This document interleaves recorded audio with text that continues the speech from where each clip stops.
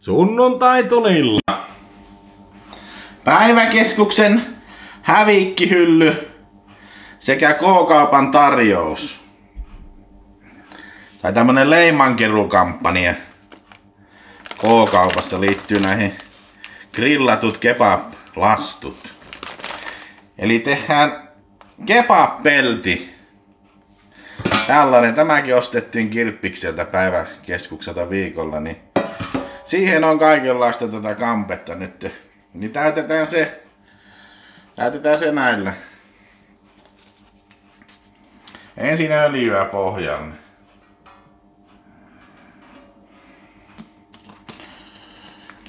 Sitten laitetaan tätä Snellmanin grillattua kebab-lastua. Yksi paketti tänne pohjalle ensin. Nää on valitettavasti jäässä vielä, kun en muistanut ottaa vielä. Ja nyt on lauantai-aamu, niin se näyttää, että tämä sunnuntai tuli siirtyä nyt lauantai-aamuksi sitten. Tuntuu niin paljon paremmalta. Toi toi. Urheilu vasta sunnuntai-aamuna, että on paljon enempi energiaa sitten, kun saa vielä levätä tämän päivän. Niin, niin sinne meni nyt tätä grillattua kebablastua tällainen yksi paketti. Tää maksaa 5 euroa K-kaupassa. Sitten tällainen oli taas tuolla päiväkeskuksen hävikkihyllyssä. Härkis Original. Laitetaan sitä tähän päälle nyt.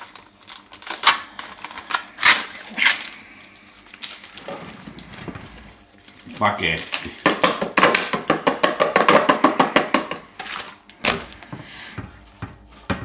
Tulee tämmönen tiivis pohja.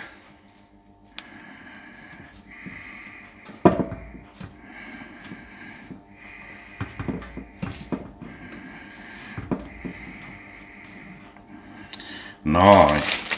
Sitten Family Mix.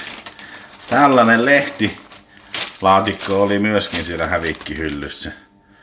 Siinä näyttäisi olevan rukola, pinaatti, punamangoldi. Niin pannaan se tähän sitten.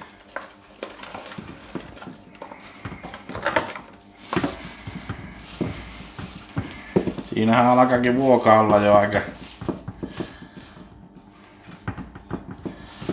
täynnä.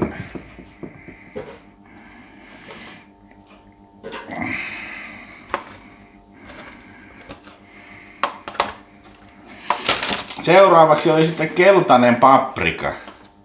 Ripotellaan se tänne.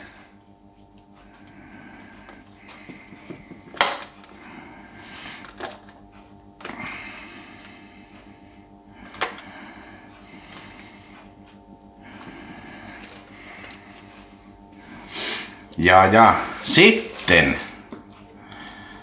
uusi tuttavuus, eli retiisi.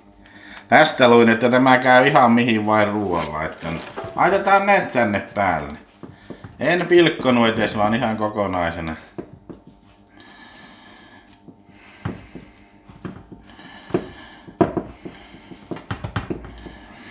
Noin.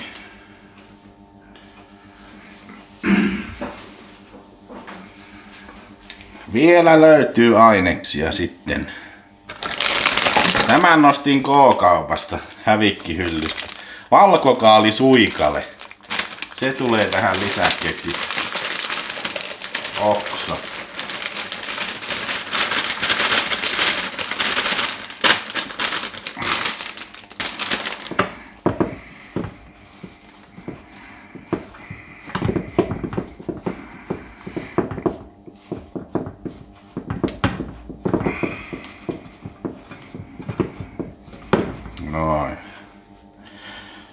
Jokos meillä vielä on jotain. Eli pannaan toinen paketti tätä grillattua kebablastua tuohon päälle.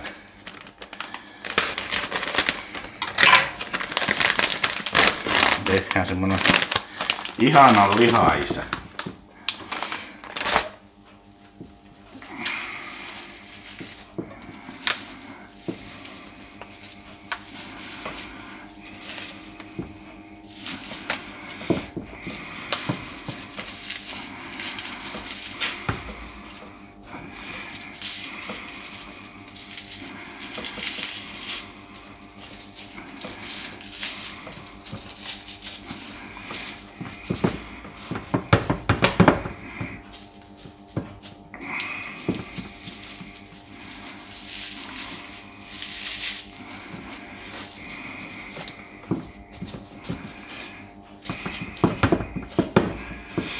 Kerron siitä KK-kampanjasta. Siellä on sellainen, että ostat neljä näitä normaalihintaista grillattua kebablastua, niin saat viidennen sitten ilmaiseksi. Se tulee myöhemmin tonne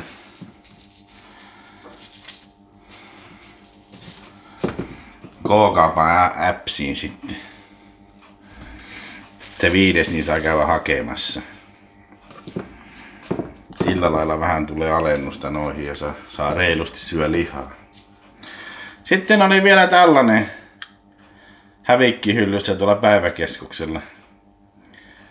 Cooking Fries Natural. Laitetaan se tuohon päälle.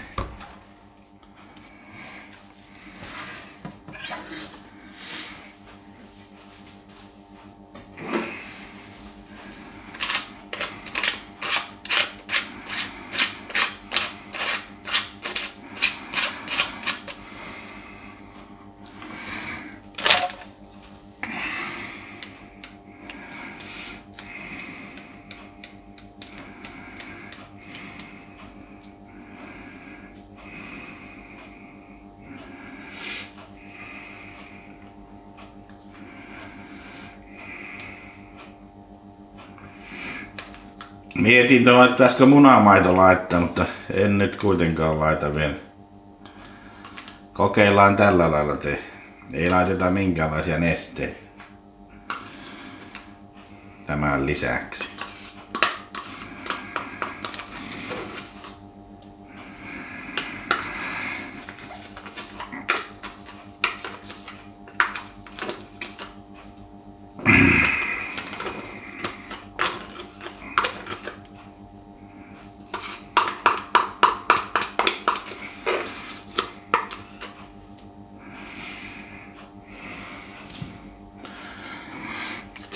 Tällainen jutska, niin paisto on 200 astetta ja 20 minuuttia. Niin paistele sen tossa ja sitten palaillaan, kuten ennenkin. Laitan pikkasen öljyä vielä tuohon päälle. Oliviöljyä.